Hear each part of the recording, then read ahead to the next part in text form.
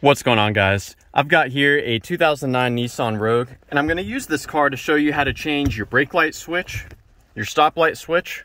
I'm also going to show you where you can find the fuse for the rear brake lights. And uh, you may want to change this switch also if you're not able to put the car into gear. Um, a temporary workaround for that is you can remove this cover here and there's actually a shift interlock button you can push down on that will allow you to shift this around. But uh, moving on to the fuse, that's inside the car. To the left of the steering wheel is a cover for us to remove.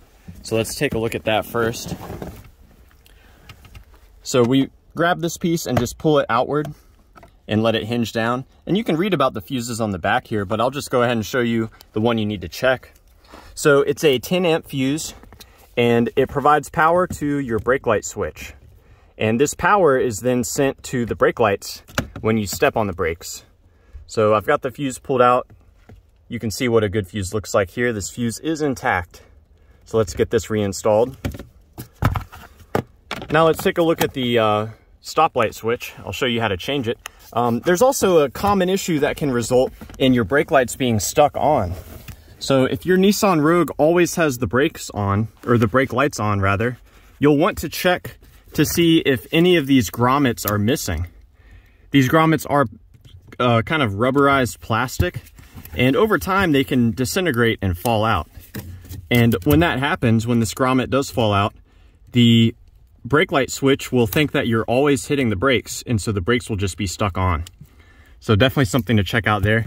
Now you'll note there are what appears to be two brake light switches. According to my documentation, for the 2009 Nissan Rogue, the switch on the left is for the brake lights as well as the shift interlock. The switch on the right is for the computer. So this is mostly for the cruise control according to my documentation. However, the removal for either switch is identical. So you grab the switch, you rotate it counterclockwise about 45 degrees and it comes right out. Now before you remove this, you'll want to take special note of the clearance between the grommet and the switch itself. Because when you install your new switch, you'll want to mimic that distance. So we rotate this, it comes right out. And to disconnect it from the electrical circuit, you push on this little tab right here and the plug will come right out. You'll want to inspect the plug and make sure that it's clean, free of corrosion and not burnt out. And when you install your new switch, you could put some dielectric grease on the connector before you install it. But uh, we're gonna we're gonna install the new switch into the plug here. Now at this point, you can get out of the car and look at your brake lights. They should be on because the brake lights are supposed to come on whenever this plunger comes out of the switch. Now, when you install the new switch, you push it in and this can actually lock in any number of positions. So you want to establish a good distance. If you push it in too far and lock it, you may have to push on the brake pedal quite a bit before the brake lights come on. On the other hand, if the switch is too far to the rear, like this, your brake lights may be on all the time or they may flicker on and off if you hit speed bumps and stuff.